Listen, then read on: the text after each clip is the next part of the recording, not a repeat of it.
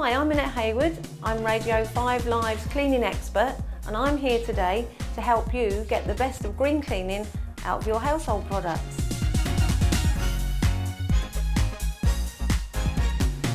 And we're going to talk today about cleaning uh, your home with natural cleaning products.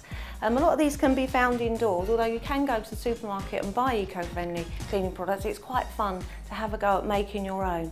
Now, these are the products that you can use that most people will have indoors. So we've got um, table salt, hairspray, um, soda or bicarbonate of soda, which you can now buy in any of the larger supermarkets, um, essential oils, a lemon, distilled white vinegar, um, liquid soda, that, that, can be bought in soda crystal form as well, um, borax, and um, wine and a red wine and white wine, and a pair of household cleaning gloves. Um, you can do quite an array of cleaning with these and you can mix and match them because they're all natural. Um, you, you can get quite a lot of usage out of them. Um, bicarbonate soda is fantastic for cleaning smelly sinks.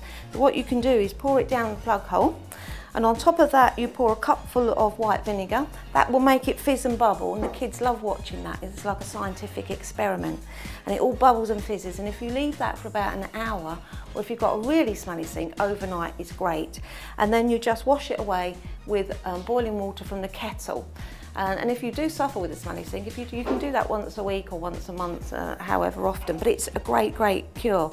If you have um, pen on your carpet from the children, a great way to get rid of that or, or on your sofa is hairspray. You just spray that on and dab that and that will get rid of the pen mark. Um, lemon juice, uh, a fresh lemon is fantastic for cleaning brass and copper if you have brass um, letter boxes or brass ornaments indoors. All you do is you cut your lemon in half, you sprinkle that with salt, rub that on, rinse it off with um, a damp cloth and then buff up with the dry cloth and that will make your brass and your copper really, really shiny. Um, another great product is uh, soda crystals. This is in a liquid form, um, which is fantastic. It cuts through grease like you wouldn't believe. Um, you can also use it in your laundry, um, um for cleaning the oven. It's a really, really good product. Um, and it can also be mixed with vinegar to make a cleaning paste um, for grout and, and, such like.